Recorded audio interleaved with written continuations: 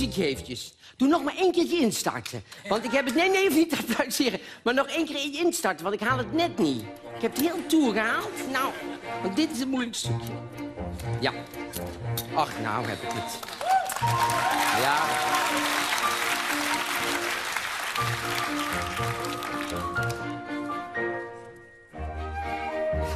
Ja. Dan heb ik tijd over.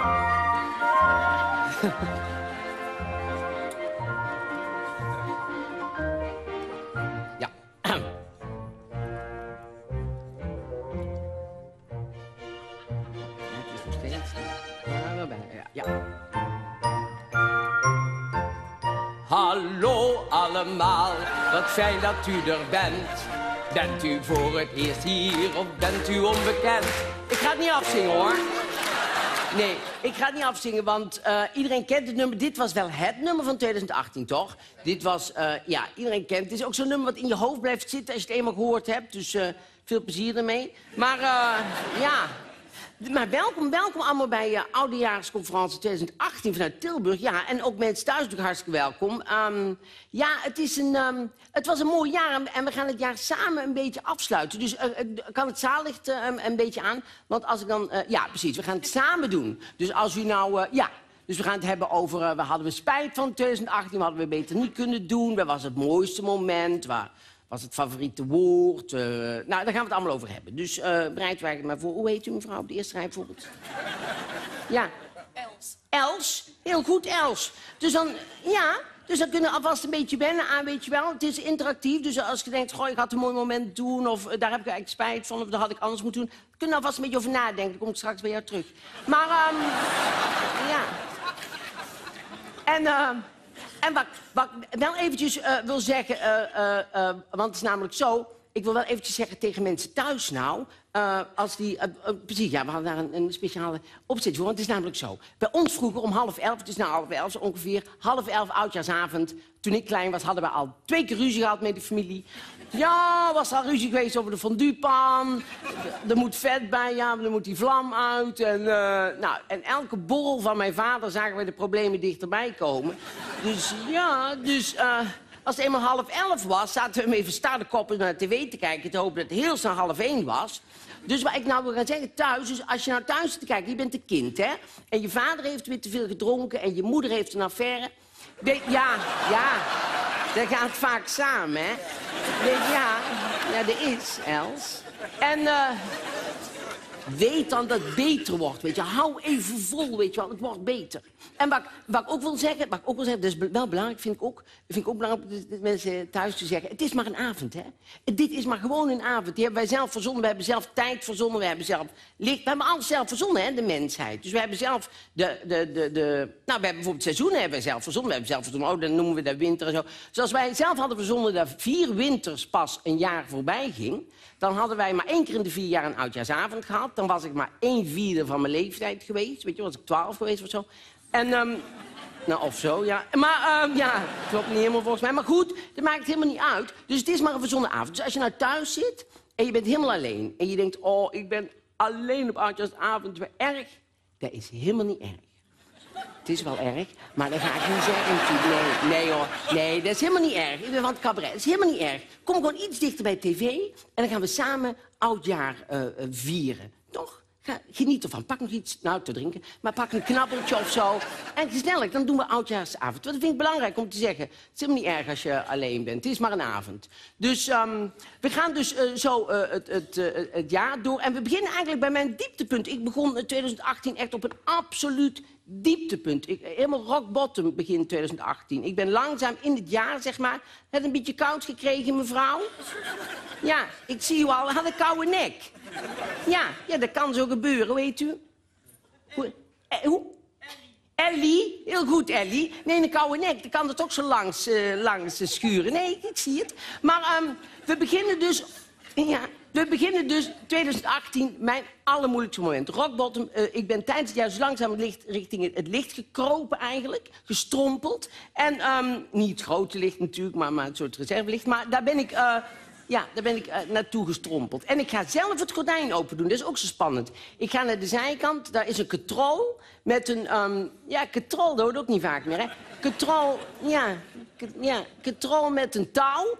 En uh, vind ik zo'n mooi woord en zo. Maar goed, ik mag zelf geen grappen maken over over uh, taal, want dat doet Paulien Cornelis. En uh, ja, hebben we allemaal moeten tekenen, de, de haarmaterialen. Ja. Want, want, taal is echt haar ding. Nou, heel goed, Paulien. Jij ook gelukkig nieuwjaar. Maar, um, dus ik loop direct naar de katrol toe. En dan uh, doe ik zelf het gordijn open. En heel veel mensen dachten, oh, heeft natuurlijk een gordijn... dat een heel mooi groot decor is met heel veel dingen. Nee, nee, nee. Het is niet veel. Ik vind het zelf ook een beetje tegenvallen. Als ik, nee, als ik naar achter loop, denk ik altijd... Maar, um, ja, en ik weet wat er staat. Maar um, ik ga dus uh, nou zelf het gordijn open doen. En dan, uh, dan beginnen we dus bij mijn dieptepunt van 2018. Tot zo.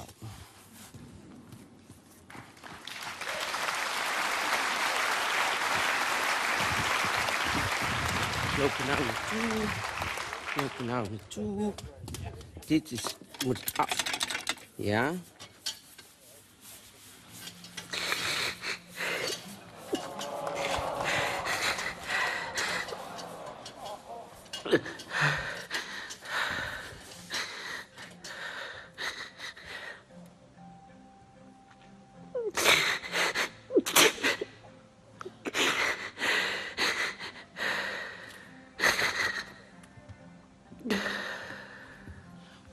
Dit gefilmd heb, God mag het weten. ik weet het niet. Het was namelijk, ik had een ongeluk gehad met de fiets. Ik lag op de bank thuis. Ik kon helemaal niks meer. Ik kon helemaal niet meer lopen. Het was heel slecht weer, dus niemand kon bij me komen. Karin, mijn man, die zat vast. In, nee, die zat, nee, die zat niet vast. Nee, dat was, dat was wel erg geweest. Nee, die zat niet vast, maar die zat vast in, in, in, op het vliegveld in Parijs. Omdat het zo slecht weer was, kon hij niet vertrekken. Ik lag daar, ik had heel veel pijn, ik kon alleen maar huilen. Waarom ik toen gedacht heb, goh, dit is een leuk moment om even vast te leggen. Ik weet het niet. En nou ben ik er blij mee, maar... Uh, nee, ik weet het niet. Het begon eigenlijk best wel goed die dag. Het was, het was zondag, het was helder weer, het was koud, maar helder. En ik, uh, ik was in Amsterdam en ik ging lunchen met mijn zus. Dus ik ging op de fiets, ging ik lunchen. Dus ik zit te lunchen met haar, nou hartstikke gezellig, we zitten te kletsen, blablabla. Ik kijk naar buiten en denk, ach, het gaat sneeuwen. Dat is mooi. Denk leuk, is leuk voor de winter, leuk sfeer. Dus ik eet door, kijk nog eens en denk, ach, het is iets harder gaan sneeuwen. Maar het blijft ook liggen. En uh, dus ik eet nog wat door en ik kijk nog een keer, is het sneeuwstorm. Heel groot sneeuwstorm. Maar nou moest ik nog naar huis met de fiets. Maar nou, nou vind ik dat ik uh, op de fiets door een sneeuwstorm moet kunnen. Weet je, ik ben een jongen van het platteland. En, nou ja, platteland Tilburg. Maar, um, ja, kantje boord. En... Um, dus, um, dus ik pak de fiets. Nou, ik, ik, doe het gewoon, ik zal het wel even voordoen, want ik heb toch dit hier. Dus ik pak de fiets. En, um, nou, het was echt een Hannie Schaf momentje. Het was, uh, nou, ik zat niet in het verzet en ik had geen rood haar, maar... Uh, een spannend moment op de fiets, bedoel ik. Dus, uh, ja, dat is nou niet schaf moment. Een spannend moment op de fiets. Ik zat op de fiets en ik ging zo uh, bruggetjes in, in, in Amsterdam. Dus dat ging op zich goed, weet je wel. Ik ging zo op en neer, dat ging allemaal heel erg goed bij de krachten. En het laatste bruggetje, voel ik dat ik zo'n beetje zo ga zwiepen. Gaat dit been en mijn fiets gaat naar die kant. Ik probeer mezelf op te vangen met dit been. Dat glijdt in gestrekte vorm en daar val ik bovenop. En ik voel terwijl ik val, dit is ambulancewerk. En, maar dat kun je voelen, hè? Maar dat wou ik niet. Ik wou niet ambulancewerk. Want ik vind altijd zo, als je met een ambulance dan naar het ziekenhuis gaat... en het is niks, dan vind ik altijd zo verschut. Dus, uh, ja, dat vind ik verschut. Dus, uh, nee, want ik had heel lang geleden, had ik al eens een keer, had ik eens een keer gehad. Toen was ik, uh, toen had ik, uh, toen sliep ik op de grond. Toen was ik heel arm. Sliep ik op een matras op de grond. Ja, was ik heel arm. Had ik aan poep aan de muur en zo. Echt zo arm. Ja, weet je wel, geen geld voor toiletpapier. Gewoon maar zo, gewoon zo. Gewoon ja, dat is als je arm bent. Dus, um, dus ik lag op de grond op een matras. En toen werd ik wakker omdat er een mier probeerde om in mijn neus te kruipen. Ja, dat voelde ik, maar ik had hem nog net op tijd. Dus, um, tenminste, als dat de eerste was. Maar, um, ja, misschien was er wel een leger al binnen, dat weet ik niet. Maar um, ik had niet, want die ene had ik. En uh, toen, maar omdat ik zo in een kramp was wakker geworden, voelde mijn nek, kon ik ineens helemaal niks met mijn nek. En ik voelde, ik hoorde zelfs een soort knak. En uh, ik was in die tijd jonger en naïver en ook biologisch niet zo heel goed onderlegd.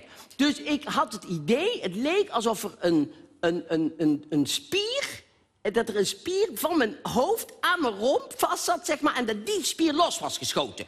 Dus dat mijn hoofd los op, op mijn lichaam hing. En uh, ja, zo viel het. En uh, dus ik dacht, ik moet heel snel naar het ziekenhuis. Dus, uh, maar ik kon dus helemaal niks. kwam mijn zus binnen en uh, die zegt... Uh, ik zeg, oh, ik zeg, is iets heel fout? Ik zeg, ik moet naar het ziekenhuis. Zegt mijn zus, oh, dan moeten we snel de fiets pakken. Ik zeg, nee, dat is onmogelijk. Zegt ze, oh, dan een tram. Ik zeg, nee, het moet met taxi. We hebben geen geld, maar het moet met taxi. Komt die taxi. Ik had helemaal half mijn pyjama nog aan, maar ik denk, ja, ik moet daar toch weer in, in bed. Dus ik ging zo half zo in, de taxi zitten. Die man kijkt via zijn achteruitkijkspiegel, kijkt zo naar mij, zegt hij, um, waar moet u naartoe? Ik zeg, nou, zo snel mogelijk naar een heel goed ziekenhuis. Zegt hij, oh, is er de hand? Ik zeg, nou, mijn nek is helemaal niet goed.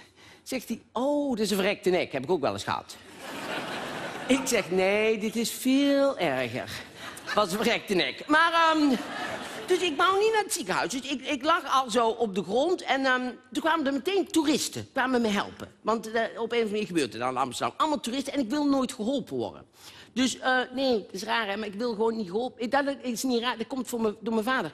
Mijn vader heeft ons opgevoed met de regel... zorg dat je nooit dankjewel tegen iemand hoeft te zeggen. Ja, goed hè. Zorg, zorg dat je nooit dankjewel hoeft te zeggen. En koop nooit een huis, zei mijn vader ook altijd. Koop nooit een huis domsweg kunt doen. Want als er dan een kraantje kapot is, moeten we het zelf laten maken. Echt goed. Maar, um, dus ik zei tegen die toerist, zeg, no, no, I'm okay, I'm okay. If, if you put the bicycle on the, on the standaard, dan is het oké. Dus dat deden ze. Dus ik strompelde dus een beetje naar de reling van de brug. En ik, nou, ik voelde alsof heel mijn lichaam in een soort trauma terecht was gekomen. Echt waar. Het voelde of ik bijna... Els, ben je wel eens flauw gevallen? Nooit. Nee, ik ook nooit. Maar het voelde zo net daarvoor, weet je wel, net. En, en ik ging hardop eilen. Had ik ook nog nooit meegemaakt. Ik hoorde mezelf allemaal dingen zeggen die, die ik niet zelf had uitgekozen. Dus uh, ik hoorde mezelf zeggen, oeh, ik word ziek, oeh, ik word ziek, oeh, het gaat niet goed met mij, het gaat niet goed met mij. Ik denk, wie zegt het toch? En, um, en een mooie stem. En um, ja, echt mooi. En uh, toen komt er een man naast me staan die zegt... je moet de warmte van het café in. Ik zeg, oh. Hij zegt, ja, want je moet naar het café. Ik zeg, hij zegt, mijn vrouw, zet je fiets wel op slot... dan breng ik je naar het café. Ik zeg, prima. Ik zeg, maar geen dankjewel zeggen. En uh, dus toen bracht hij me naar het café. Zat ik daar. Ik dacht, nou, dan, dan, dan zorg ik nou dat zij zichzelf niet verantwoordelijk voor mij voelen. Dus ik zei, nee, het gaat goed met mij. Als ik even een kopje thee drink, spring ik zo weer op de fiets. Kon niet, maar ik dacht, dan zijn ze weg. Dus zij gingen weg denk, ik bel een taxi. En als ik in de taxi zit, ben ik bijna thuis. Dus ik bel een taxi. Ik strompel echt, ik hink naar die taxi toe. Ik ga zitten en denk, nou, nou kan er niks meer gebeuren. Taxi krijgt een ongeluk. Dus die, die taxi gaat datzelfde fucking bruggetje op. En die, die, valt daar, die schuift door tegen een paal. En die kan geen kant meer op. Chauffeur begint in zichzelf te eilen. Dus die chauffeur, ja, die begint gewoon... Uh, ja, en ik had moeten stoppen met rijden. Waarom ben ik door blijven rijden? En uh, deze rit ga ik zeker niet afmaken, zei hij. Ik zeg, jawel.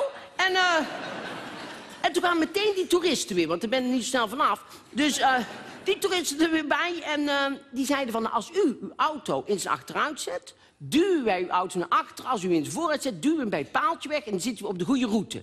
Nou, dat ging hij proberen. Dus hij zette hem in zijn achteruit... Die toeristen gaan naar de kap, die willen net gaan duwen... en ik merk ineens dat ze mij zien zitten op de achterbank. En ik zie ze denken, we zitten die dikker dan nog te doen... terwijl wij aan het duwen zijn. Maar ik, ik kon niet zeggen van, yeah, remember me from the leg. Dus uh, ik ging maar een beetje op mijn telefoon zitten kijken.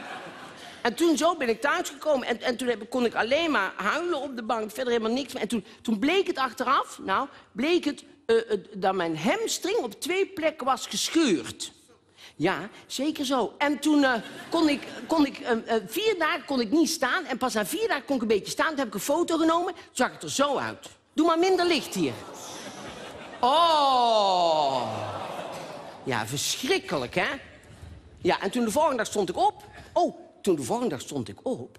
En toen had ik mijn eerste MeToo-momentje. Ja, want 2018 was natuurlijk wel een MeToo. Had ik mijn eerste MeToo-momentje. Maar vanuit de dader. En, um, ja.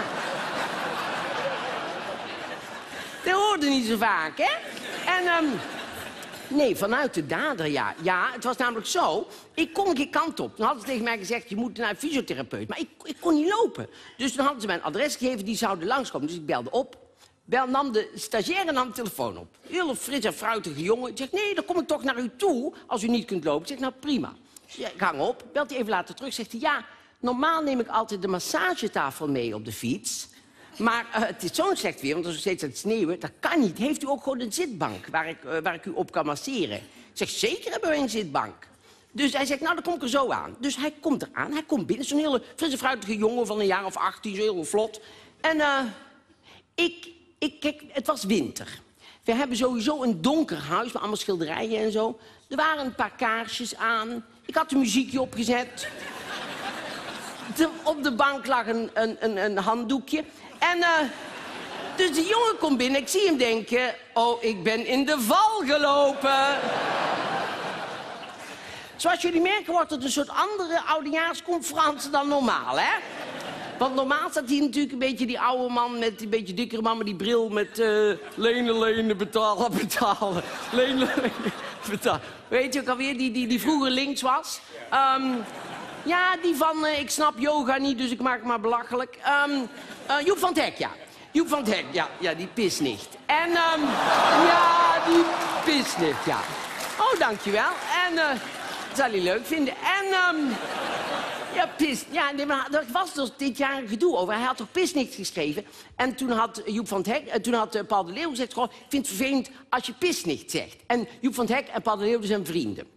Nou, oh, ik sprak trouwens iemand in Tilburg, stond een keer met een vrouw te praten... en die zei heel de tijd tussendoor, zei ze, nou ja, dat was natuurlijk mijn, ja, mijn verkering. En toen gingen we op vakantie. Ik denk, wat staat zij toch heel de tijd te doen? Maar op een gegeven moment had ik het door, zij wou dit doen, maar dat kon ze niet. dus Joep van Dek en Paul de Leeuw zijn vrienden. En, um, ja... Maar goed, Paul de Leeuw is met iedereen vriend. Echt waar. Ik heb dit jaar een programma met hem gemaakt. En die is met iedereen gaat die eten, is die vriend. Echt waar. Dan hadden we het bijvoorbeeld over iemand. En dan zei hij, oh, ben ik mee gaan eten. Ik zeg, ja, Paul, daar hoeft er niet meer bij te zeggen. Want ga je eten met iedereen met wie je ooit in de lift hebt gestaan. Maar, um, ja, en als je nou denkt, nee, Mark-Marie, dat overdrijf je. Nou... maar goed, dus... dus dus Joep van het Hek, zijn vrienden. Nou, toen had Paul Leeuw gezegd, vind het als je pisnicht zegt. Dan had Joep van het Hek gezegd, ja, zo ben ik opgevoed. Mijn vader zei het ook altijd.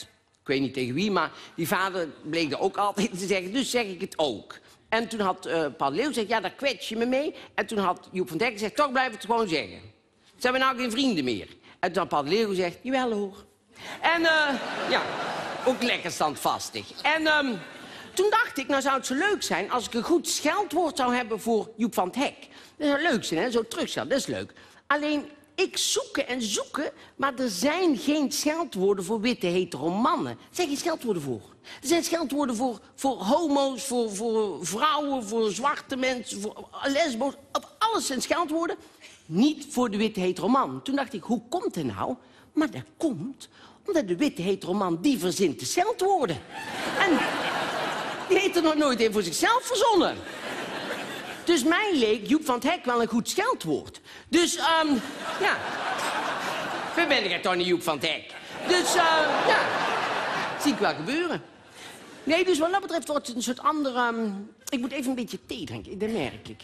Ik pak een beetje thee, want ik heb een beetje een droge mond. Dit is een... Um, is wel mooi, hè? Dat is een samovar, heet dat. Dat is een Russische uh, theepot. Zit waarschijnlijk uh, afluisterapparatuur in.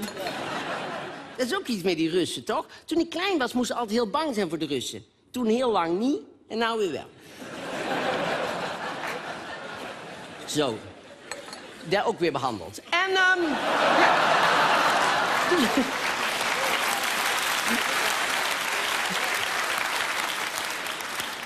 Nee, maar het wordt ook een ander oudejaarsavond. Omdat ik op een andere manier toch ook naar het nieuws kijk, moet ik eerlijk zeggen. Ja, ik kan er helemaal niks aan doen. Dan, ik heb echt, want ik, ik volg het nieuws sowieso al, hoor, moet ik eerlijk zeggen. Ik volg het nieuws altijd, ik lees kranten, zo, echt, houd echt bij. Maar ik dacht voor dit jaar, ik denk, ik ga het extra bijhouden. Bijvoorbeeld, zat ik, nou zat ik een paar maanden geleden zat ik bijvoorbeeld te lezen um, van Stef Blok. Stef Blok, weet je wel, die van de VVD. Die, nou, dat is echt een Joep van het Hek. Jezus, Stef Blok. maar goed, zat ik te lezen, want hij had dan een toespraak gegeven... van dan Suriname was een failed state, zei hij... en uh, de multiculturele samenleving was mislukt en zo. Nou, dan zit ik dan te lezen, denk oh, voor de oudejaars... Er zit misschien een heel leuk stukje. Dus ik zit allemaal te noteren. Zo interessant, denk ik. Interessant. En um, dan zit ik te lezen. Maar dan gaat mijn andere oog gaat naar een ander gedeelte van de krant. En dan lees ik, denk ik, wat? Een schildpad gevonden in een vagina? En dan... dan vind ik dat toch leuker, moet ik eerlijk zeggen. Had dat gelezen, Els? Kende het verhaal? Els? Had het gehoord? Kende het verhaal wel, ja? Want het was, het was op Tenerife. Er was een vrouw op Tenerife en die was naar een beachparty geweest. Kan toch zo leuk zijn, toch? Was, oh, dat was zo leuk. Had ze echt een hele leuke tijd gehad. Echt leuk. En toen, uh, de dagen daarna had ze allemaal zo'n buikpijn. En uh, heel veel zin in sla. En uh, ja...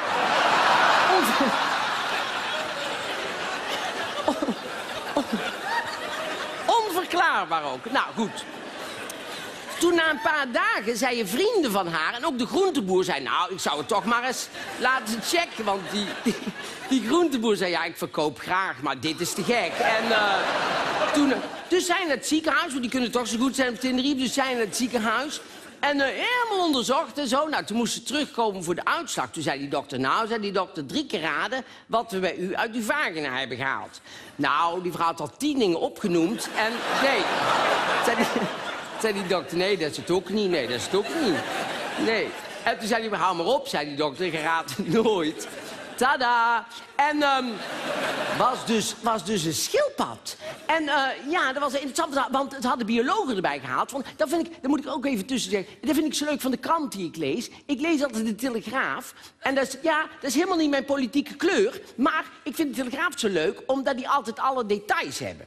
Dus ja, die andere kranten doen altijd heel chic en zo. Nou, Telegraaf niet hoor. Die, die weet precies hoe, hoe die schildpad heet. En... Uh, dus hadden ze, waren dus biologen bijgekomen. En die biologen die waren erachter gekomen dat die soort schildpad kwam daar in de natuur niet voor. Dus die schildpad was zelf ook op vakantie. En uh, ja, had ook een hoedje op en een zonnebril en zo. Had zich net iets te veel ingesmeerd. Dus uh, die... Um, en dan, hadden, en dan die biologen hadden gezegd... als u ons de schildpad even meegeeft voor, uh, voor wat tests... dan gaan we thuis met tests doen. Nou, waren ze teruggekomen, waren ze achtergekomen... zeiden die biologen, we hebben tests gedaan... en het is onmogelijk dat de schildpad op eigen kracht binnen is gekropen. Kon niet, schildpad zei, het lukt me niet. En uh, toen... Uh, en die vrouw kon zich niet herinneren dat ze een schildpad had ingebracht. Want meestal herinner je je dat nog wel, toch? Dat is niet pas als je hem ziet dat je denkt... ach nee, natuurlijk. Ja, nou weet ik het weer. Nee, dus, dus, daarom vind ik altijd, dan begin ik bij Stef Blok. Maar goed, ik moet de Stef Blok allemaal nog zien doen. Dus uh, ja, daarom vind ik dat nu toch leuker. Maar het is wel, het is wel echt een oudejaarsavond. Dus, we, we, gaan bijvoorbeeld, oudejaar gaat over uh, goede voornemens. Vind ik ook belangrijk. Wie had er bijvoorbeeld voor afgelopen jaar, voor 2018, wie had er goede voornemens? Had iemand goede voornemens? Had, had jij goede voornemens? Wat voor goede voornemens? Oh, ik dacht dat jij zo zat, te zwaaien. Had jij, hoe heet jij? José. Heel goed, José. En José, had, had jij een goede voornemens voor afgelopen jaar? Wat bijvoorbeeld? Veel plezier te maken. Veel plezier te maken. En is het gelukt? Was het een goed jaar voor jou? Ja? Zou je 2018 dus precies, 2019 precies weer zo willen doen? Nou, nog iets beter. Nog iets beter. Er waren verbeterpunten. Altijd? Ja, zou dat zijn? Ja, nou, ik moet eerlijk zeggen, ik wilde dit afgelopen jaar wou ik afvallen. En dat is op zich gelukt, maar... Ja, dankjewel. Maar, maar... Nee, nee, nee, nee. Maar, maar, maar... Um, maar, um, maar, maar, nee, maar, niet zoals ik wou. Ik wou afvallen met sporten, want ik denk, dan ga ik sporten. Dan, dan word ik ook meteen flink, weet je. Dan, dan is het gewoon dan spieropbouw, dan gaat vet weg, komt er spieren. Maar dat is niet gelukt. Uh, ik heb het met zo'n laf puntenstelsel moeten doen, weet je wel. Van uh, tomaat is 0 en, en frikandellen 26. En uh, ja...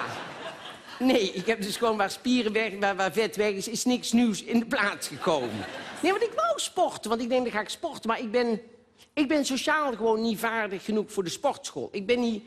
Ik kan dat niet zo goed. Ik, daar moet je toch een sociaal iemand voor zijn, voor een sportschool. En bijvoorbeeld, ik, ben, ik ben bijvoorbeeld ook opgevoed in een vrouwenhuis. Hè, met, met, met, met, nou, niet een vrouwenhuis, maar, maar ik heb twee zusjes. En wij waren heel preuts. Heel. Ik heb mijn ouders nooit naakt gezien. Niet dat ik wou, maar ik heb... Nee, nee, toch jammer. Maar nee, ik heb, ze, ik heb ze nooit naakt gezien. En dat vind ik toch, ja, ik ben dus heel erg van... Ik kan bijvoorbeeld ook niet, de herentoilet, kan ik ook niet bij de plasbakken. Daar kan ik gewoon niet plassen. Ja, ik, ik kan er wel bij, maar ik, ja... Zou u het heel vervelend vinden om mij een beetje op te tillen? Want ik kan het net niet. Nee, ik kan er wel bij. Maar ik vind het sowieso typisch. Wij zijn allemaal heel erg op onszelf. En dan gaan we een toilet door van de herentoilet en dan hup, alles open en blo Ik kan dat niet. Ik moet gewoon een kamertje voor mezelf apart met de deur op slot. Even een momentje voor mezelf. En dan heb ik de sportschool ook. Dan kan ik, ik, want ik probeer het nog wel eens. Ik was laatst op de sportschool en toen stond daar zo'n jongen, zo'n, zo'n, ja, zo'n een soort uh, personal trainer. was geen personal trainer, maar zo'n helemaal doorgefokt iemand. Zo helemaal zo... Nee, maar weet je wel, zo heel genetisch gemanipuleerd-achtig, uh, plofkip-achtig iemand. Dus die stond daar... Nee, maar die stond zich daar zo heel langzaam uit te kleden, weet je. Was nog net geen muziek bij, zo lalalala, echt zo. Helemaal uit... Nou, dat vond ik al heel ingewikkeld, dus ik ging al helemaal zo staan, weet je wel. Terwijl mijn kluisje was daar. Maar... Uh, ik stond hier zo een beetje het tettebraakspel te doen, dus ik, ik, ik, ik, ik stond hier af. Was hij op een gegeven moment helemaal naakt, begint hij een gesprek. Ja, dat kan niet, vind ik. Dat moeten wij met rust laten. Dat we... Maar ik wel vind trouwens, ook nog even over uh, hier laten en uh, wat we hier laten in 2018, wat we meenemen in 2019. Want dit is natuurlijk het scharniermoment. Hè. We kunnen nou kiezen, nou, dit laten we hier, hoeven we niet te hebben in 2019. Dingen die we meenemen in 2019. Wat we mee moeten nemen in 2019, vind ik, dat af en toe mensen meer verantwoording moeten afleggen, vind ik. Dat vind ik belangrijk. Als ik over een jaar, want nou denk ik allemaal dat het puntensysteem heel heilig is, hè, dat flauwe puntensysteem. Dat werkt voor mij prima. Als ik over een jaar weer gewoon op volle sterkte ben, dan moet, ja, dan moeten mij daar gewoon op aanspreken. Moeten gewoon zeggen, oh, hij zei toch zo dat dat zo'n heel goed puntenstelsel was. En dan moet ik eerlijk zeggen, nou, dat, dat werkte niet zo goed. Af en toe moet je... Erika Terpstra had een tijdje geleden. Erika Terpstra die had toen iets gevonden met pannenkoekjes. Ik weet niet of jullie dat nog weten. Boekwijdpannenkoekjes. Oh, dat was het helemaal. Boekwijdpannenkoekjes, dat waren kanjes. Dat vond, dat vond ze... Die waren zo heerlijk. Dat deed ze gewoon wat verse groente in. Zat ze weg te knabbelen. Nou, zien de ogen viel ze af. Ze vond dat iedereen zat op boeken geschreven. Iedereen moest aan die pannenkoekjes. Want als ze dan bijvoorbeeld naar een ambassade ging voor een chic eh, diner... dan was helemaal geen probleem, zei ze. Want dan nam ze gewoon los in de tas met losse pannenkoekjes mee. En dan liet ze die kok komen, zei ze... ik hoef niks van al het lekkers wat u aanbiedt... want ik heb heerlijke pannenkoekjes. En als u daar wat verse groente voor hebt... nou, dan kom ik de avond wel door. Nou, prima. Hartstikke goed. Ze was ook echt slank geworden. Zie ik haar een jaar later, denk ik, nou, die is overgestapt op de gewone pannenkoeken. maar ja, is, is, niet erg. Maar dan zou ze toch even kunnen zeggen, ik deed toen net of jullie allemaal gek waren, maar ik was gek. Ook dit jaar ook. Een meisje zoek op Cuba. Hadden, hadden dat gehoord, Els? Meisje zoek... We hebben wel een krant erbij gehaald. Ben je iemand van de krant? Een beetje. Nou, er was een meisje zoek op Cuba. Die was op Cuba en die, die ging naar Cuba. En haar ouders waren heel erg verrast dat ze naar Cuba was gegaan. Terwijl twee dagen voor haar vertrek had haar vader opgebeld. Had ze gezegd, ik ga naar Cuba. Maar toch, die ouders hadden gedacht dat het een grapje was. En um, dus ze was naar Cuba gegaan, had ze even contact gehad, toen geen contact meer. Nou, iedereen in paniek, oeh, de meisjes zoeken. Iedereen moest mee gaan zoeken en de sociale media werd ingezet en Cuba werd omcirkeld en de ambassade dicht. Iedereen moest meezoeken, meezoeken, meezoeken. Nou, uiteindelijk snel al de meisje gevonden. Hè? Het meisje was gevonden. Nou wil de familie privacy. Nee, wij willen eerst even weten wat er gebeurd is. Ik heb ook meegezocht. Ja. Nee, ook, ook nog zoiets. Amsterdam. Amsterdam zijn de, is de metro gaan rijden. Dat is ook zo fijn. De metro gaan rijden. Voor die metro, die nieuwe metro, hebben de Amsterdammers nou minstens 15 jaar omgereden. Hebben ze om moeten rijden door kuilen in de grond. En, uh, en uh, hele huizenblokken zijn verdwenen in gaten in de grond. En de ratten gingen heel de stad door, want die waren helemaal onthuisd en zo. Het was verschrikkelijk. Het heeft miljoenen gekost. Miljoenen meer dan de miljoenen die het überhaupt al zou hebben gekost. Nou, we gaan eerst eventjes kijken naar de metroplattegrond van Londen. Moest kijken. En heeft, heeft ongeveer hetzelfde gekost. Uh, je, kunt overal naartoe, hè. Je kunt ook zo, helemaal zo in cirkels en zo. Het is een geweldig systeem, echt schitterend. Nou, dan gaan we nou kijken waar de Amsterdammers 15 jaar voor omgereden hebben.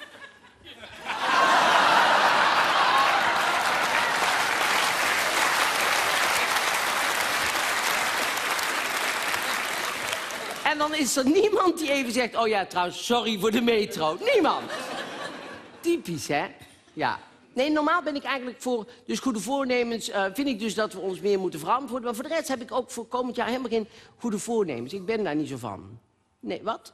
Nee, ik ben niet zo van goede voornemens. Ik ben wel van... ehm, van ook, ik ben trouwens ook niet van bucketlisten. Heeft er iemand hier een bucketlist? Even een ja?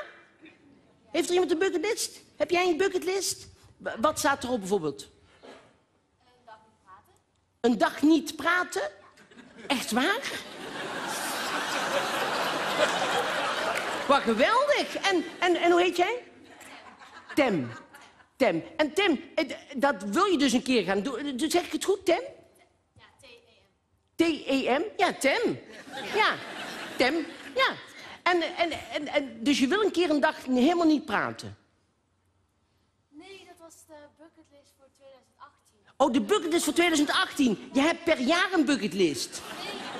Nee, ik, ik dacht, nou, zou ik eens leuk doen? Ik ga een bucketlist maken voor 2018. Ja, je, je dacht, ik ga eens leuk doen. Ik doe een bucketlist voor 2018. Alleen voor 2019 heb ik hem nog niet. Maar Voor 2019 heb je hem nog niet, maar 2018... Nee, maar dat was heel goed. En is het jou gelukt in 2018 om een dag niet te praten? Maar echt serieus? Echt van 's ochtends vroeg tot 's avonds laat? serieus. gelukt, al met aanwijzen en zo. Ja, het was wel moeilijk, maar het Het was wel moeilijk, ja, natuurlijk. Vooral voor de omgeving, denk ik ook, Tem. Maar, ehm, ja, afgezien van jou. Maar wat goed. En wat stond er nog meer op? mijn fiets schoonmaken. Je fiets schoonmaken. Oh ja, het was wel minder, hè, Tem. Het begon echt wel, vond ik... Nee, maar dat helemaal niet praten vind ik wel, vind ik wel geweldig. Want meestal, nou meestal zijn bucketlisten, zeg maar, zijn lijsten die je doet, alles wat je nog wilt doen voor je dood. Dus voordat je doodgaat, zeg maar. En dan, ja, een fiets schoonmaken, zou dan... Staat dan niet hoog op een lijst waarschijnlijk van iemand die terminaal is. Maar, ehm, maar, ehm, ik zou wel denken zelf, zeg maar, van bucketlisten denk ik altijd... Goh, waarom, zou je het, waarom zou je dat zo vastleggen, weet je? Ik heb een vriend bijvoorbeeld, die wil heel graag de Mount Everest beklimmen. Die, nou, die is wel heel sportief, moet ik heel eerlijk zeggen. Maar die wil de Mount Everest beklimmen. En daar is al heel veel voorbereiding natuurlijk. heel veel- En ik denk altijd, Mount Everest... Nou, ik heb sowieso een probleem met Mount Everest beklimmers... want die, die staan dan in de, in de krant altijd, hè? Een grote foto, Johan Jans heeft de top behaald. Nou staat hij zo, weet je wel, met een hele grote baard... met snot en ijs en zo. Met drie vingers over en... Ik heb de top gehaald, ja, ja. En, ehm, maar op de achtergrond zie je altijd Sherpa's op en neer lopen, hè? Op die, die mensen die alles omhoog slepen, die komen nooit in de krant. Dat vond ik zo typisch, ja. Nee, ik, ik heb dus niet dat ik bucketlist heb dat ik nog dingen wil doen voor mijn dood. Nee, ik, ik, ik kwam er sowieso achter, dat was ook wel typisch, ik kwam er sowieso achter dat ik één ding al gehaald heb.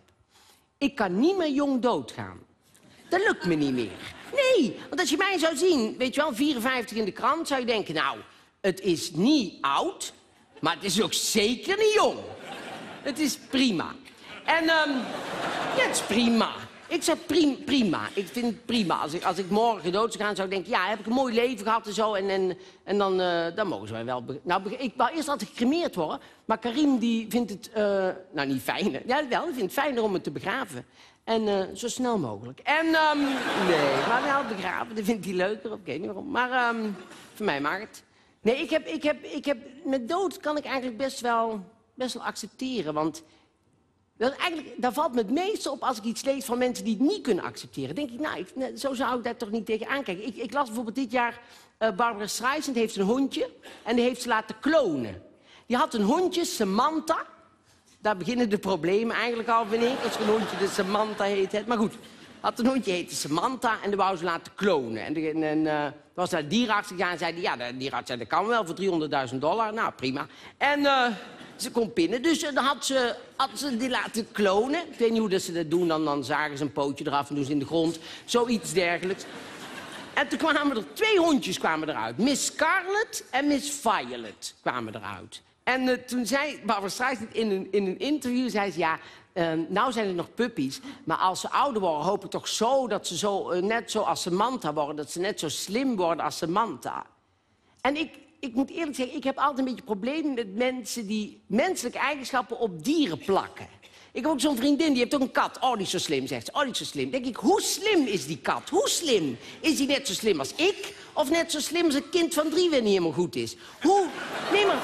Nee, maar hoe slim? Ik heb nog nooit iets, iets, iets... Ik heb nog nooit een dier ontmoet dat meer weet dan ik. Ik... Nee, ik heb nog nooit iets geleerd van een hamster of zo. denk ik, och ja, dat wist ik niet. Nooit. Er is één, nee, er is één dier waar ik iets... Nee, dat is niet helemaal waar. Er is één dier waar ik iets van geleerd heb. Ik heb iets geleerd van Bambi. Van Bambi, ja. Bambi, die, die, dat ik weet wel, dat is een tekenfilm. Dat is niet geen documentaire, maar ik heb, daar, uh, ik heb van Bambi geleerd dat, uh, dat dood bestaat. Ik weet nog, toen ik klein was, was het de eerste film waar ik helemaal door gechoqueerd was. Want het is best een heftige film voor kinderen, hè? Want uh, dat is de eerste keer dat ik mezelf realiseerde dat, dat mensen dood konden gaan. En eigenlijk nog heftiger, dat mijn moeder dood kon gaan. Want in die film, ik, ik denk dat iedereen toch wel Bambi heeft gezien, toch? Tem, heb je Bambi gezien? Ja, toch? Bambi? Lang. Ja, lang geleden. Nou, niet heel lang geleden, Tem, want ik weet niet hoe oud jij bent, maar dat kan niet heel lang geleden zijn. Maar um, er zit één scène in, en dat was mijn, mijn meest dramatische scène, vond ik. Dan, uh, dan is die moeder met Bambi. Want Bambi is het jongen of een meisje? Meisje? Nee, het is een jongen. Heeft heel lange wimpers en daarom denken mensen het is een meisje, maar het is jongen. Daarom, ik identificeer me heel erg met Bambi. Dus, um, ja, doe ik. Dus uh, dan was die moeder met Bambi aan het rennen. En voor de jagers weg aan het rennen. Dus zei die moeder, ren Bambi, ren Bambi. En Bambi rent dan inderdaad en dan wordt die moeder doodgeschoten. En dat, dat, is niet, dat zie je niet in beeld. Dat is niet een soort Oostvadersplassen moment. Maar, ja, trouwens, die moeder had wel goed gegeten. Maar, uh, dus dan zijn ze aan het rennen. Dan hoor je een schot, dan weten wij, oh, die moeder is dood, maar Bambi weet nog nergens van. Dus Bambi die roept om die moeder, die roept om die moeder, gaat door de sneeuw op zoek naar die moeder. Vindt die moeder niet, dan vindt hij uiteindelijk zijn vader. En dat is zo'n dramatische scène, dat vond ik zo'n mooie scène. En, uh, maar dat was de eerste keer dat ik mezelf dat realiseerde van doodgaan. Want dit jaar 2018 hebben we natuurlijk ook van heel veel mensen afscheid. Nou, mensen thuis hebben natuurlijk van mensen afscheid moeten nemen. En we hebben heel veel bekende Nederlanders. Ook, Koos Albert is overleden, maar ook internationaal. Trouwens, Charles Aznavour is overleden. Um, Aretha Franklin, Avicii, uh, Bertolucci, die regisseur. Uh, uh, Hanneke Greunlo is overleden. Want dat was ook nog iets dit jaar. Ik dacht, ik, ik, als er nou een Nederlandse artiest overlijdt met heel leuk repertoire... dan ga ik daar een nummer van zingen, dacht ik. En ik vind het repertoire van Rob de Nijs zo leuk. Maar, um, nee. Je, kunt het niet afdwingen, hè. Dus, uh, ja. En nou is het te laat, dus... Uh, nou hoeft het niet meer. Maar... Uh, nee, maar dit jaar zijn er ook voor mij twee heel belangrijke vrouwen overleden. Um, Hannie Nagelkerk is overleden. En Hannie Nagelkerk was lerares van mij op, op de Sociale Academie. Ik heb de Sociale Academie gedaan. Hè. Ik heb twee jaar van de vier heb ik, ja, wel de twee moeilijkste jaren. En personeelswerk heb ik gedaan. Ik was bijna personeelswerker geweest. Was gewoon personeelswerker geweest, leuk. Els, wat, wat doe jij? Onderwijs. Onderwijs? Wat in het onderwijs? Basisonderwijs. Basisonderwijs, uh, groep. Groep. Wat? 1, 2, 3, 4. 1, 2, 3, 4? Op een schipperschool of zo, of een klein... Nee, maar nee, op een klein schooltje ergens waar ze niet veel mensen hebben of zo. Wat? In groepjes van verschillende... In groepjes? Eén klas met 1, 2, 3, 4? Nee. Kleine groepjes. Kleine groepjes? Jij werkt met kleine groepjes. Groot, groot, groot, heb je wel grote groepen gedaan of dat is niet voor jou? Wel gedaan, maar daar ben ik mee opgehouden. En je doet, kleine groepjes, maar van al die, die, die, die, die, die, die... Maar dan moet je ze elke keer inleven in de, wat ze weten en wat ze niet weten. En is er speciaal onderwijs met een rugzakje? Nee, je twijfelt wel, hè? Maar, uh, ja, maar het is niet echt speciaal, speciaal onderwijs is het niet. En dat, doe je dan lang? Al heel lang. Ja. Al heel lang. En, en hoe heet de school? Basisschool De Regenboog uit Goorlen. De regenboog. Oh. En, um, en, uh, ja. En, um, leuk. En creatief zeker. Creatieve school, vrije school? Een vrije school? Els? Nee? Een gewoon reguliere basisschool, geen fratsen. Gewoon simpel. Gewoon, ja? Oh, nou, wat mooi. Nou ja, dus, dus dat was een roeping voor jou. Nou, personeelswerk was dus geen roeping voor mij. Ik, ik heb dat personeelswerk gedaan en eh, die lerares, Hannie Nagekerken... Die, daardoor ben ik eigenlijk toneel opgegaan. Nou, niet helemaal daardoor, maar het heeft mij wel gestimuleerd. Want ik deed iets op het eerste jaar, op het einde van het eerste jaar. En toen eh, op toneel daar. En toen zei ze, ah, je moet het toneel op, je moet helemaal niet op school blijven en zo. En toen, uiteindelijk ben ik door haar gestimuleerd om, uh, om toneel op te gaan. En zij zat in een rolstoel. En dat vond ik heel fascinerend, want ik kende, ik had nog nooit iemand leren kennen in een rolstoel. Komt ook omdat ze vaak heel snel langskomen. En uh, ja, had er gewoon nog nooit iemand leren kennen daarin. En, um, en zij was een fascinerende vrouw. Hele stoere vrouw. En uh, zij had polio gehad. Zij was niet ingeënt, dus ze had polio gehad. En dan uh, moesten we natuurlijk in een kring zitten af en toe, want het is wel sociaal academie, moesten we in een kring zitten. En dan kwam zij met uh, de rolstoel, en, dan kwam ze zo aan. En dan zat zij en ze had twee benen, ze had wel twee benen, maar die waren heel dun. Daar kon ze verder niks mee, die waren, daar zat verder geen leven in. Dus dan zat ze, nou dan was ik helemaal door gefascineerd, want dan zat ze gewoon zo bij ons. En dan pakte ze op een gegeven moment pakte ze een beentje, en dan legde ze op het andere been. En dan kon ze dat de hele middag als bureautje gebruiken. Nee, maar bij ons zou daar een beetje zo gaan slapen, maar bij haar natuurlijk helemaal niet. Maar, um, nee, zij was stoer. Zij ging, bijvoorbeeld, zij ging bijvoorbeeld door Amerika trekken met de rugzak met een vriend in die rolstoel. En dan uh, kreeg ze op de helft kreeg ze ruzie. En dan zei ze, nou, dan ga ik wel alleen verder. Ging ze gewoon alleen verder. Ja, ik, vond dat, ik had daar zo'n bewondering voor. En als ik dan iets deed op tv of in het theater zo, kreeg ik altijd een envelop. Kreeg, stuurde ze een brief. En de, zag ik aan de buitenkant al dat van Hanny was. Helemaal met strepen en sterren. En dat was heel expressief.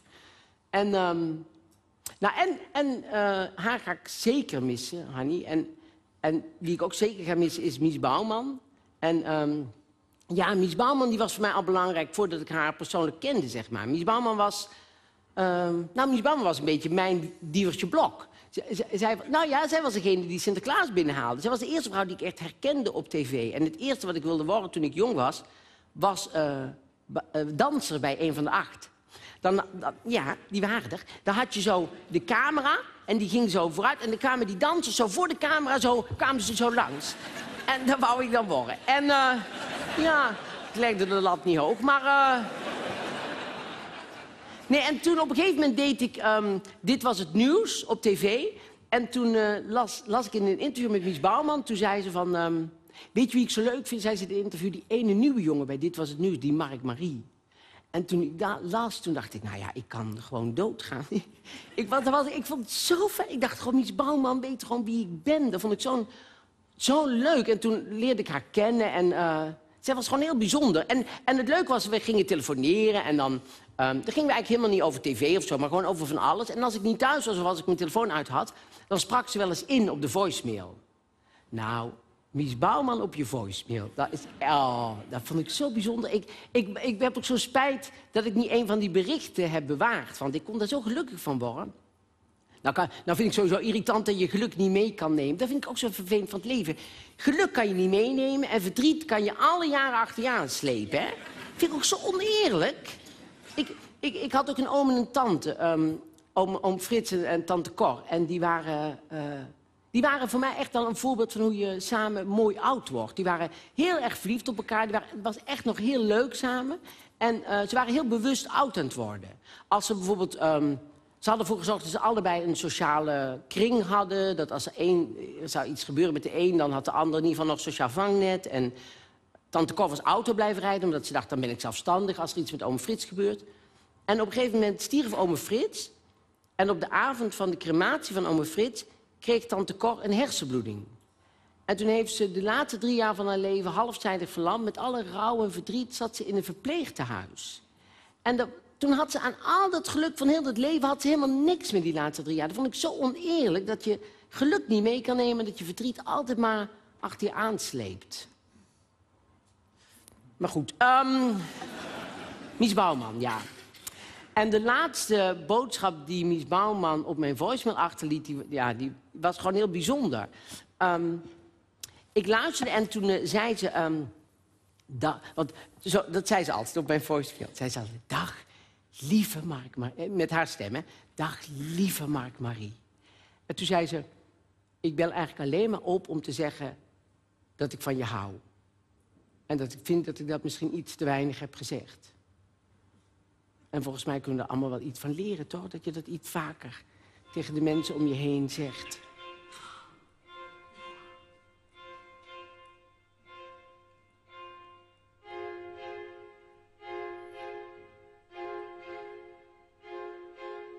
Everything must change.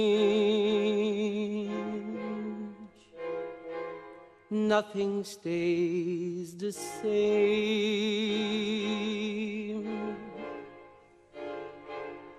Everyone must change.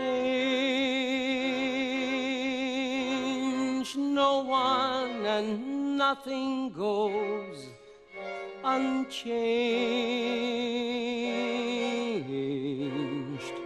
The young become the old,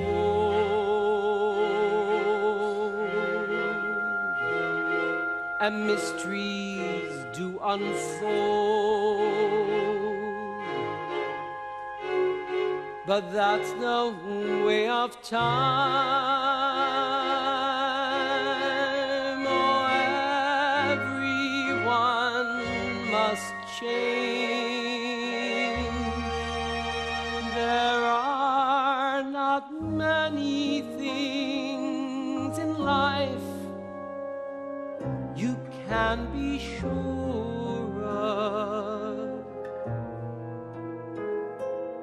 Except that rain comes from the clouds, sun lights up the sky, and hummingbirds do fly. Winter turns to spring.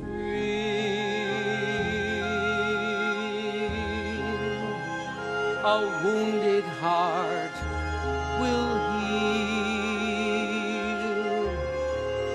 but never much too soon. Oh,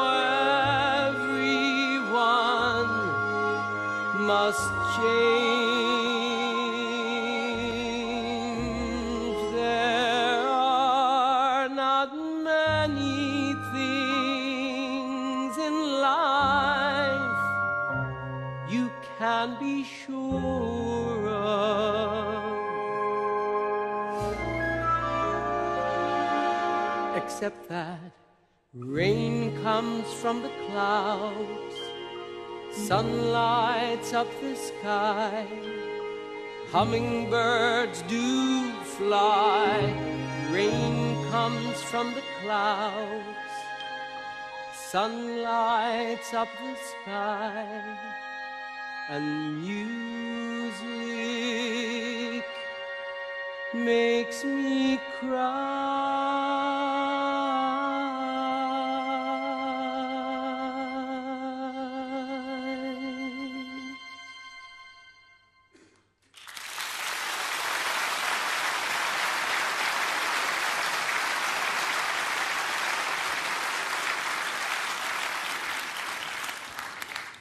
Heb ik spijt van in 2018? Wat laat ik zeker in 2018? Ehm, wie heeft er hier iemand spijt van iets dit jaar? Die die denkt, goh, dat had ik niet moeten doen. Of dat had ik misschien... Heeft iemand spijt?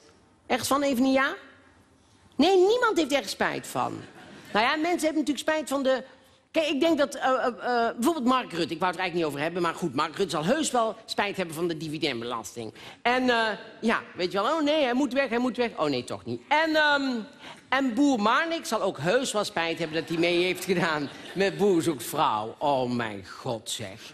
Oh, hoe kan je toch zeggen dat een beginnende romance... dan zeg je toch niet van, ja, we kunnen het wel door laten etteren.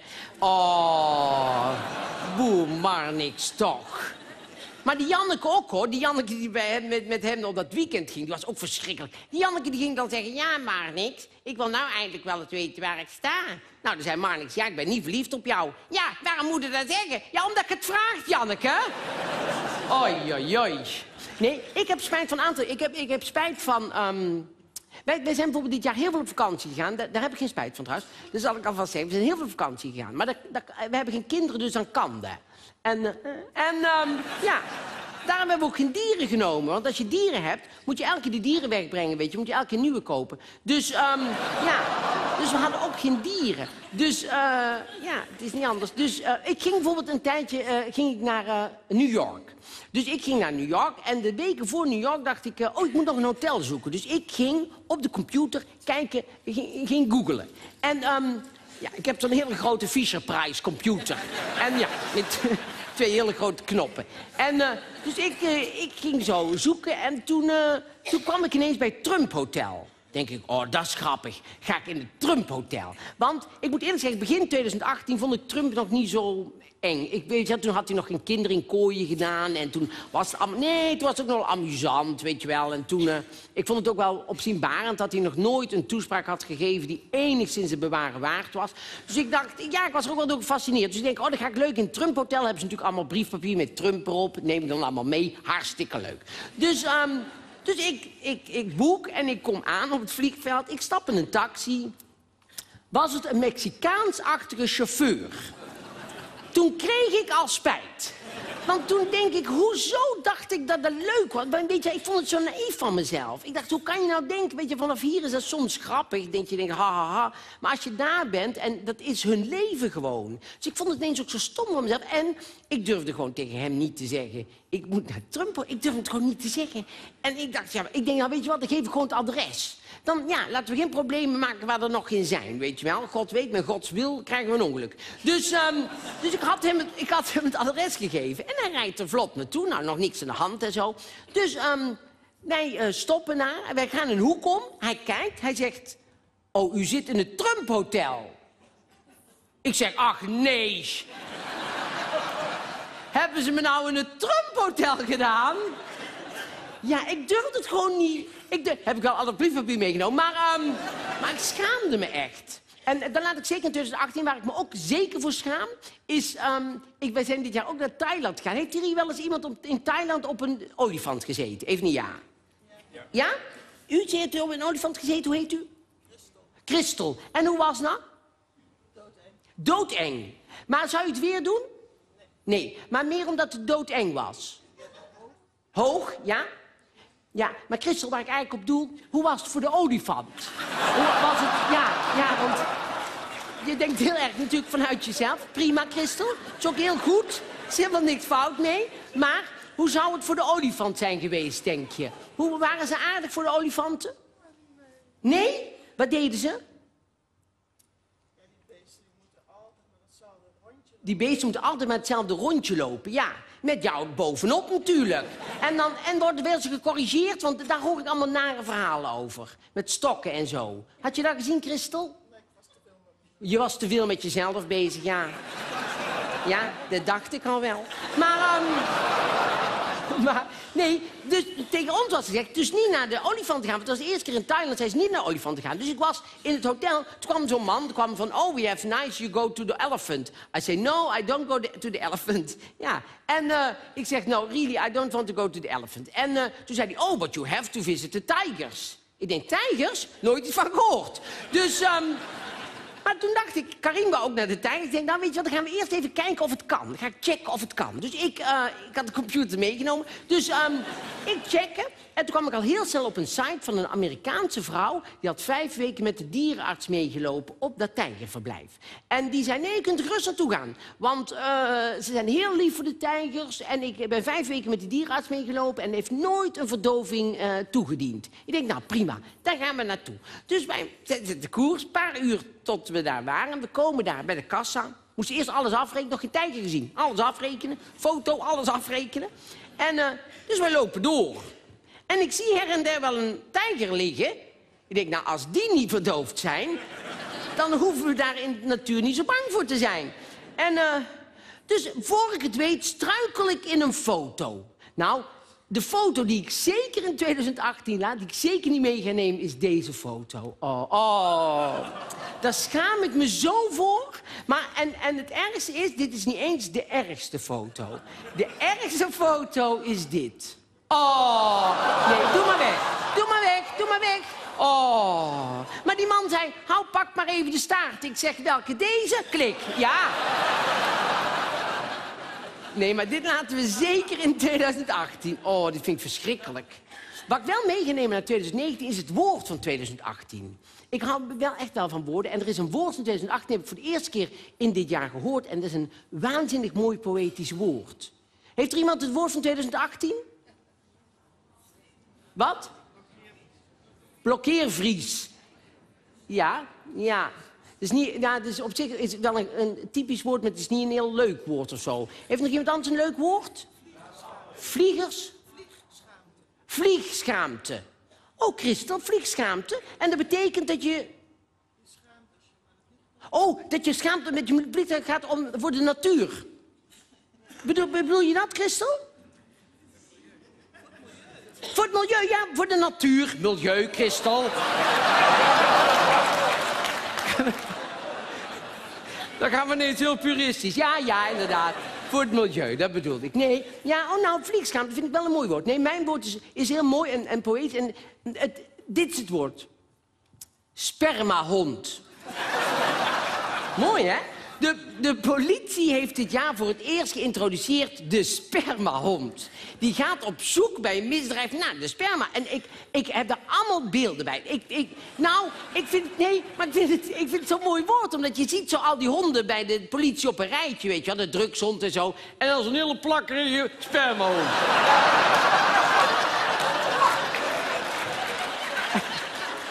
en dan moeten ze... En dan moeten ze ook nog met die hond gaan trainen. Dus dan, ehm, ja. Dan moeten ze natuurlijk tegen zijn agent zeggen... Godjeert, wij willen morgen met... eh met Kwakkie gaan trainen. Zie jij kans om vanavond... eh, En dan moeten ze de volgende dag met een bekertje het bos in... en dan zo'n beetje zo doen. En dan moet Kwakkie erop af. Oh.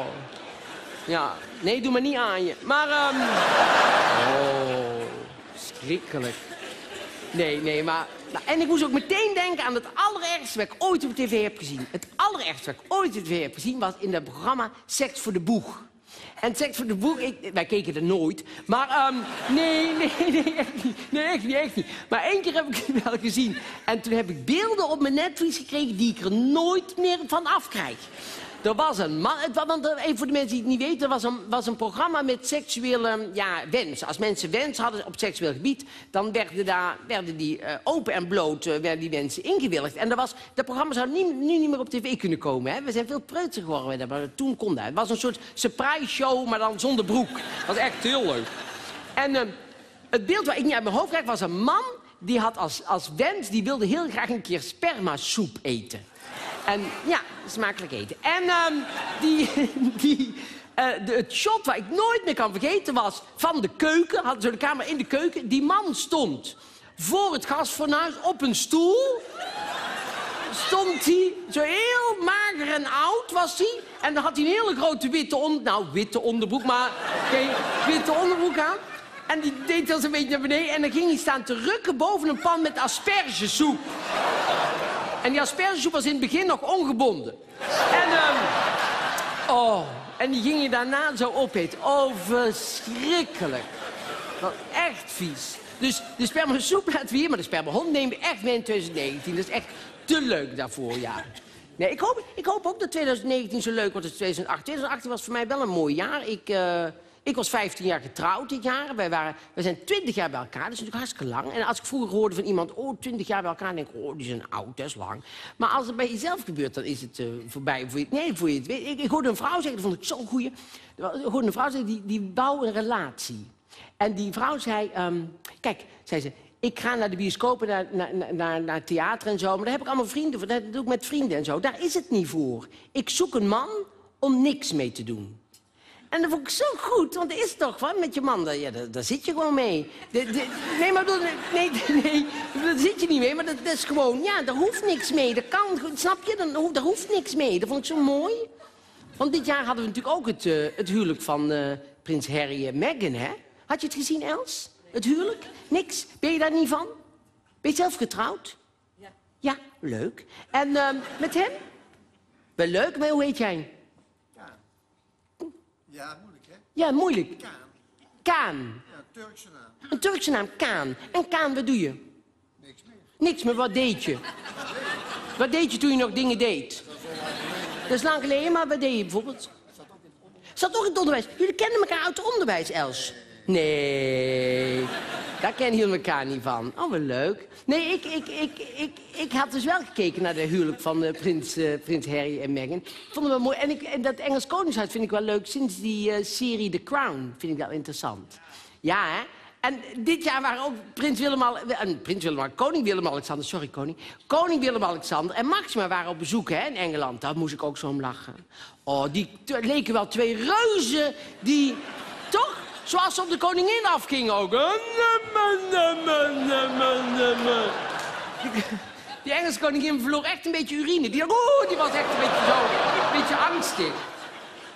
Ja, ongelooflijk, ja.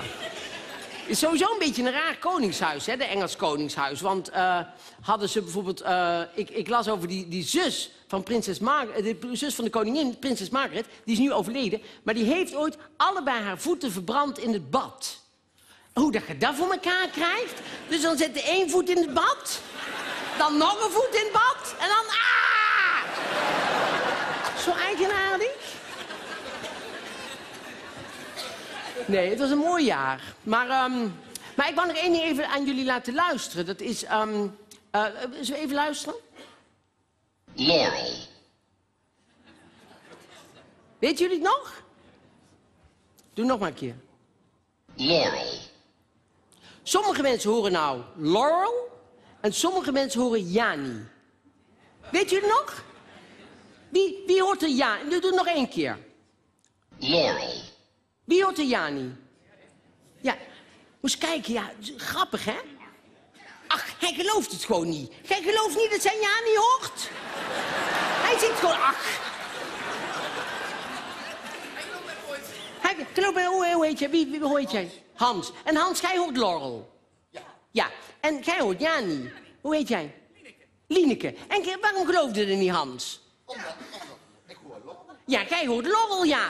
Ja, ja, nee, dat hoort dus niet iedereen. Zij hoort dus Laurel, zij hoort dus Jani. Nee, maar dat is het mooie ervan. Kijk, dit is het mooie, dit is precies waar het over gaat. Hè. Dit is ook precies waarom het interessant is.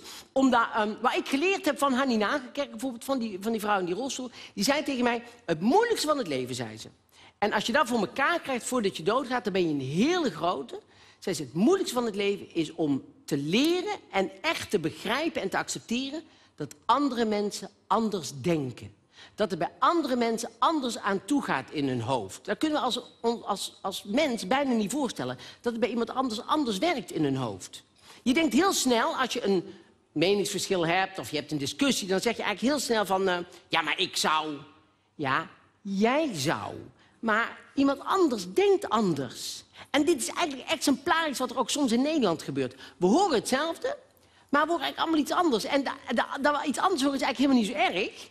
Als je er maar van uitgaat dat wat die ander hoort... Ten eerste dat je het gelooft, Hans, dat die ander iets anders hoort. Dat is belangrijk. En dat je daarnaast ook nog snapt dat het niet meer is of niet minder is dan wat jij hebt gehoord... maar dat het gewoon iets anders is.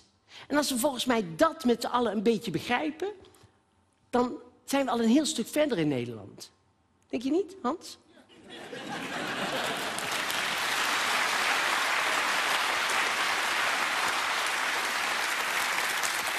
Wat dat betreft is het, uh, was het wel een mooi jaar, vond ik. Ik, um, ik vond ons eigenlijk heel lief. Raar, hè? Ik vond ons in 2018 eigenlijk heel lief tegen elkaar. En, en het, het rare is daarin dat um, mensen denken dan dat we eigenlijk heel naar waren. En dat was ook zo in begin december, weet je, met Zwarte Piet en zo, was het allemaal weer heel hard. Maar daarvoor waren we eigenlijk heel lief tegen elkaar. En, en bijvoorbeeld met um, Maarten van der Weijden. Maarten van der Weijden, die heeft die, die, die elf steden zwemtocht gedaan, weet je wel. Daar stonden we allemaal langs de kant en iedereen juichte hem aan. En hij had volgens mij maar vier steden gehaald of zo. Maar helemaal niet erg. Nee, vijf wel, geloof ik. Maar, um, nee, nee, wel meer. Maar op een gegeven moment zei we, nee, kom maar uit, we hebben het gezien. Hartstikke goed. Supergoed, weet je wel. Dan hebben we nog iets uh, aan onze avond. Maar, um...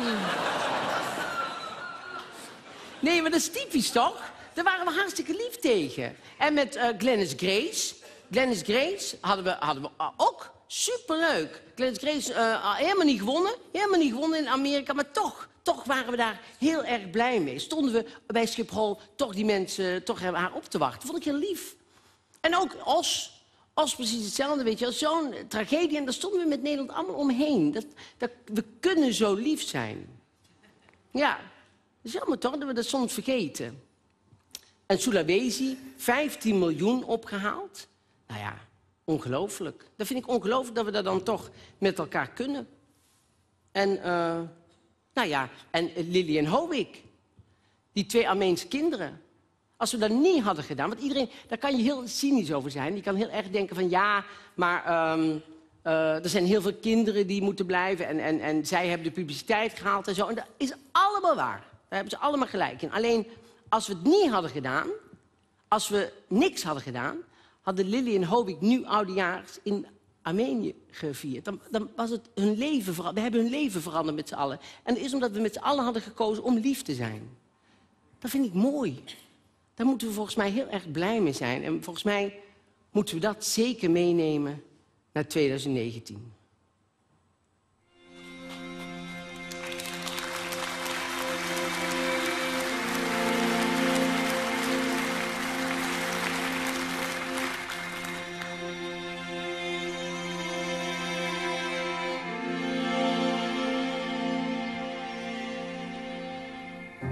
Wat gaat een jaar toch rap voorbij? Vandaag december, gisteren mei, één tel. Alles wat er is gebeurd, van zwart en wit en ingekleurd, het gaat zo snel. Betekenis nog niet te zien, te dicht erop, nou ja, misschien over een tijd. Als je wat nu groot en machtig lijkt, over een jaar of tien bekijkt een kleinigheid. En je ziet als je achter je kijkt. Alles wat niet ging, laat het achter.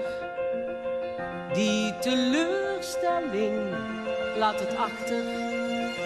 Al die pijn en verdriet, laat het achter en daar op weg naar het nieuwe jaar.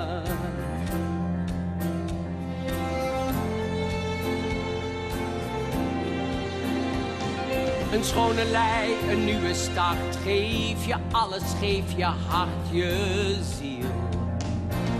Begin met sport of stop ermee. Schrijf een boek, nee schrijf er twee, ben niet subtiel. Er zijn geen oude hang-ups meer. Je start van nul af deze keer. Een mooi cadeau. De oplossing zit in je hoofd. Waarin je zelf nooit had geloofd. Toch is het zo. En je ziet als je achter je kijkt. Ja, je ziet als je achter je kijkt. Alles wat niet ging, laat het achter. Die teleurstelling, laat het achter. Al die pijn en verdriet, laat het achter en daar.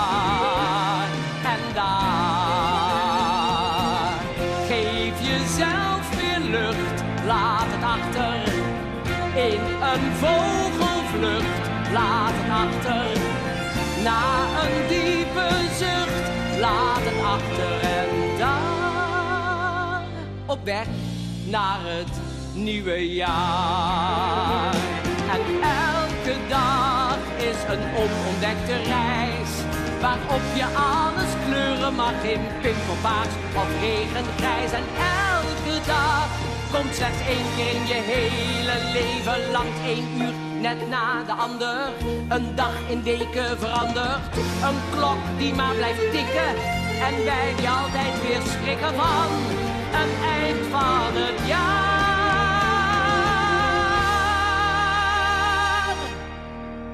En hier is opeens die laatste dag.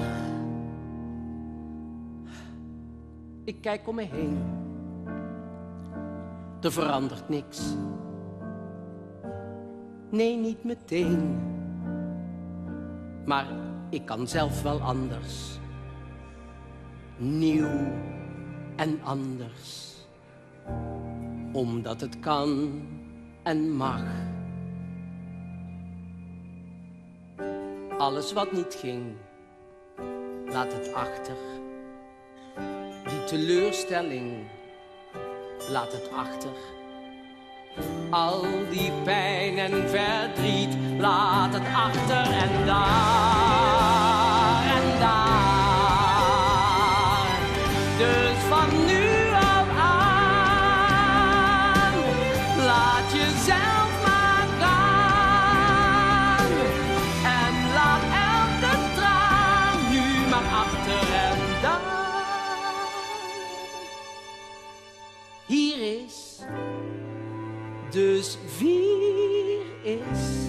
het mooie nieuwe